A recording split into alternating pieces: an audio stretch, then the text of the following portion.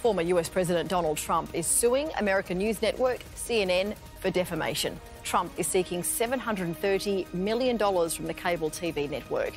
He claims the broadcaster attempted to smear him with what he says is even ever more scandalous, false and defamatory labels.